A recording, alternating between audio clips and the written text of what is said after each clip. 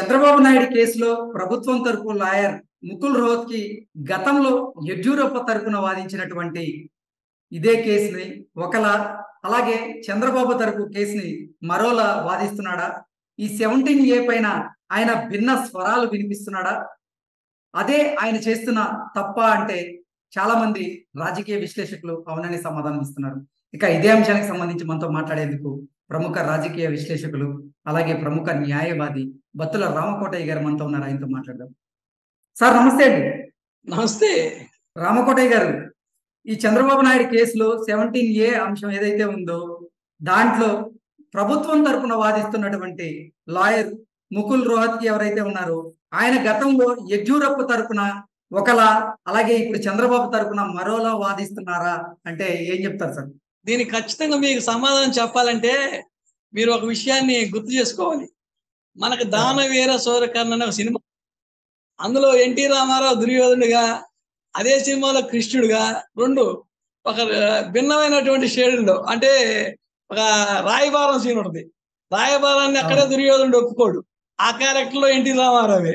ఇక్కడ రాయబారం చేయడానికి వచ్చిన కృష్ణుడు ఎన్టీ రామారావే. అందుకని మనకి మనం చూస్తూ ఉంటాం ఇలాంటి మనకి ఒక కేసు తీసుకున్నప్పుడు కేసు ఫ్యాక్ట్స్ అండ్ సర్కమ్స్టెన్స్ బట్టి మాకు వృత్తిపరంగా మా క్లయింట్ని ప్రొజెక్ట్ చేసుకోవటమే. ఆ కేసులో ఏ విధంగా అయితే మేము వకాలత్ తీసుకున్నామో వారి తరపున చట్టపరంగా వాళ్ళకి ఏ విధంగా రక్షణ కల్పించాలనేదే కానీ గతంలో మనం ఈ కేసులో ఈ కేసులో కూడా ఇదే విధంగా వాదించాలని చెప్పి ఎక్కడా కూడా మనకి ఉండదు. ఎందుకంటే అది వృత్తిపరంగా ఒక న్యాయవాదికి చెప్పాలంటే మేము తీసుకున్న బ్రీఫ్ వరకే ఆలోచిస్తాం. గతంలో ఆయన వేల కేసులు వాదించి ఉంటారు. ఆ కేసుల ప్రకారం రావాలంటే కుదరదు.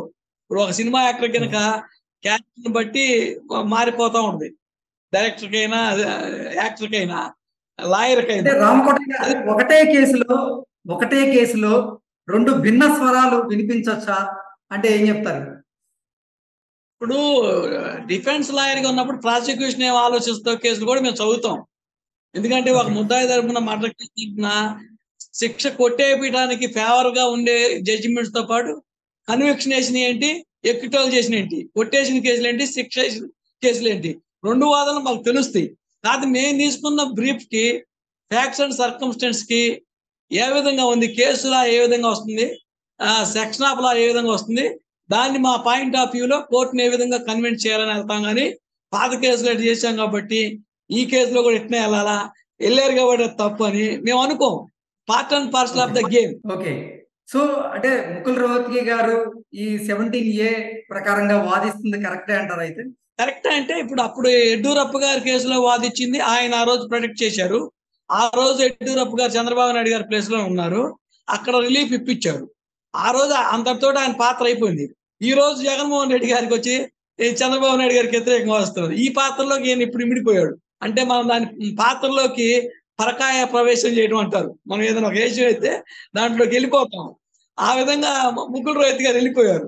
అంటే దానికి తప్పు పడటానికి లేదు ప్రొఫెషనల్గా వృత్తిపరంగా.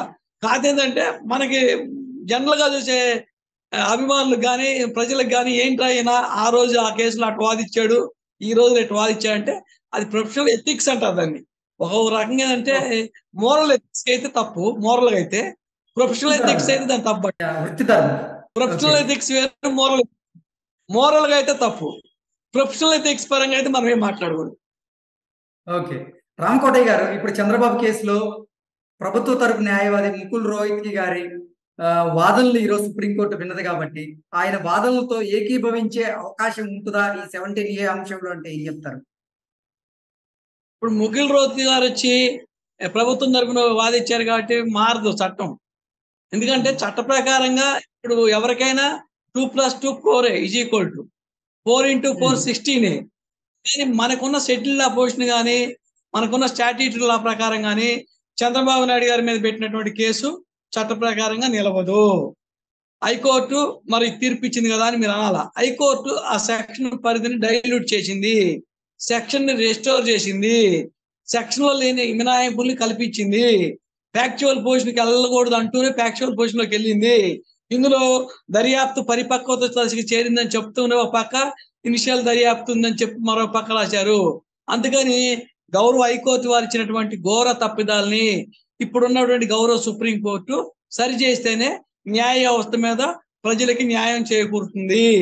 ప్రజలు రేపు ఇప్పుడు మన ఈ వ్యవస్థలో మొదలైతే మనం లాస్ట్ రిసార్ట్స్ ప్రజాస్వామ్యంలో ఇప్పుడు మనకున్న రాజ్యాంగం ప్రకారం మనం బతుకుతున్న వ్యవస్థలో లాస్ట్ రిసార్ట్స్ ఎవరికైనా ఏదైనా ఉందంటే న్యాయ వ్యవస్థే న్యాయ వ్యవస్థే ఇప్పుడు అల్లో రామచంద్ర అని చెప్పి ప్రజలు వస్తా ఉంటారు. ఈ న్యాయ వ్యవస్థలో కూడా కింద స్థాయి నుంచి మొదలు పెట్టుకుంటే హైకోర్టు నుంచి ఇక్కడ కూడా న్యాయం జరగకపోతే ఈ చివరి రిసార్ట్లో కూడా న్యాయం జరగకపోతే వ్యవస్థ మీద ప్రజలకి నమ్మకం సన్నగిలి ఈ రోజు రేపు వ్యవస్థలే మీద నమ్మకం చేయాలి కూడా ప్రజలు తిరుగుబాటు చేస్తారు. ఇప్పుడు నక్సలైట్లు అనే వాళ్ళు ఎందుకు వెళ్తారు? వ్యవస్థల మీద నమ్మకం లేకనే అడవులకు వెళ్తారు. వ్యవస్థలు సక్రమంగా పనిచేసినప్పుడు వ్యవస్థలు సక్రమంగా పనిచేసినప్పుడు అందరూ చట్టబద్ధ పరిపాలన చేసినప్పుడు అందరూ కూడా ప్రజలు బాగానే సక్రమంగా శాంతియుతంగా ఉంటారు. ఎప్పుడైతే చట్టాలు గాడి తప్పుతాయో అందాల్సిన న్యాయం అందదో అరాచకత్వం పెరిగిపోయింది. అది ప్రజాస్వామ్యానికి ప్రమాదం అన్నా నేను. అందుకనే మనం చట్ట ప్రకారంగా కేంద్ర ప్రభుత్వం ఏదైతే సెవెంటీన్ ఏ చట్ట సవరణ చేసినా దానికి అనుగుణంగానే తీర్పు చెప్పాలా? దానికి భిన్నంగా చెప్తే రేపు మనం భారత రాజ్యాంగం అందించినటువంటి ప్రజాస్వామ్య వ్యవస్థకి ప్రమాదం చేకూరిద్ది. భారత ప్రజాస్వామ్యం ప్రమాదంలో పడగొట్టే చట్టాలను మనం గౌరవించాలి. మనకున్న చట్టాల ప్రకారం చెటిల్లా ప్రకారం తీర్పు రావాలి. అప్పుడే ప్రజలకు చట్టాల మీద విశ్వాసం ఉంటుంది. ప్రజలు ప్రజాస్వామ్యాన్ని ఇంకా బలంగా విశ్వసిస్తారు. ప్రజాస్వామ్యవాదులకి చట్టాల మీద కోర్టుల మీద గౌరవం పెరిగింది అప్పుడు మనం బలంగా ఇంకా ప్రజాస్వామ్యాన్ని ముందుకు తీసుకెళ్తాము. ఎక్కడైతే చట్టం గాడి తప్పుతుందో చట్టాన్ని అతిక్రమించి తీర్పులు వస్తాయో ప్రజల్లో విశ్వాసం పోయి తిరుగుబాట్లు మొదలవు. రామకోటయ్య గారు వచ్చే శుక్రవారం రోజు చంద్రబాబు దాఖలు చేసినటువంటి ఈ స్పెషల్ లీవ్ పిటిషన్లో ఈ స్పెషల్ లీవ్ పిటిషన్ క్వాష్ అయ్యే అవకాశం కనిపిస్తుందా? చూస్తే మన షెడ్యూల్ లా పోషన్ ప్రకారం కానీ స్టాట్యూటరీ లా ప్రకారం కానీ case facts of the case ప్రకారం కానీ చూస్తే నాకు మోస్ట్లీ ఎందుకంటే బాగా నమ్మకం ఉంది బలంగా నమ్మకం ఉంది. కింద నుంచి కూడా నేను అది హైకోర్టులోనే జరిగిద్దని భావించాను. కానీ హైకోర్టు కొన్ని తప్పిదాలు జరిగినాయి. కోర్టు ఘోర తప్పిదాలు చేసింది. అలాగే సుప్రీం కోర్టులో అయితే ఇంకా వాళ్ళు పెద్ద జడ్జీలు కాబట్టి ఖచ్చితంగా తీర్పు అనుకూలంగానే పాజిటివ్ గారు చంద్రబాబు నాయుడు గారికి అనుకూలంగానే వస్తుంది.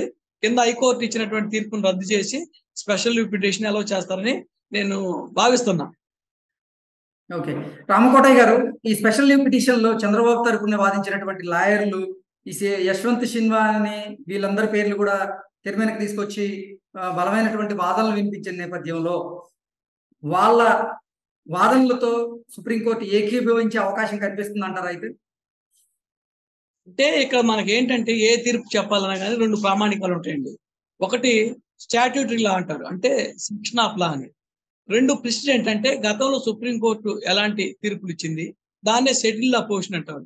ఇప్పుడు మీరు అన్నట్టు యశ్వంత్ సిన్హా వర్సెస్ సిబిఐ కానీ Tejman Chaudhary versus state of Rajasthan case కానీ యడ్యూరప్ప వర్సెస్ కర్ణాటక జడ్జిమెంట్స్ చంద్రబాబు నాయుడు గారికి సంబంధించిన కేసులు లాంటి సిమిలర్ ఫ్యాక్ట్స్ ఈ ఇలాంటి విషయాల్లో తీర్పు అనుకూలంగా వచ్చింది. ఏది సెవెంటీ నైన్ వైలెట్ అయ్యారైతే దాని ప్రకారం ముందస్తు పర్మిషన్ తీసుకోలేదు కాబట్టి అవన్నీ కూడా ఎఫ్ఐఆర్లు పాస్ చేశారు రద్దు చేశారు. అందుకని ఆ గతంలో ఉన్నటువంటి షెడ్యూల్ ఆపోజిషన్ ప్రకారం చూసినా ఇప్పుడున్న చట్ట సవరణ ప్రకారం చూసినా చంద్రబాబు నాయుడు గారికి ఖచ్చితంగా అనుకూలంగా తీర్పు వస్తుంది అనేది భావన ఓకే రామకోటయ్య గారు థ్యాంక్ యూ సో మచ్